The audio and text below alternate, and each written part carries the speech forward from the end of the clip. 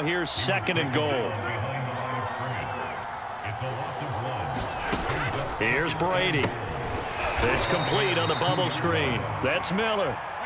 And this one will wind up with him losing yardage back to the four-yard line.